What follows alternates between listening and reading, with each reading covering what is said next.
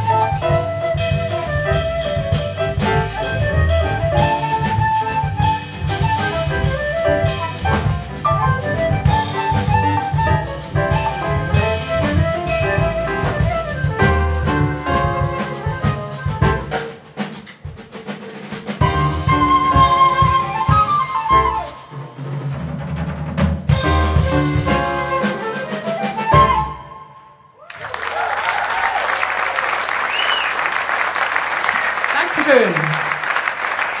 Markus Kerber an der Querflöte und Markus Wohner am Schlagzeug.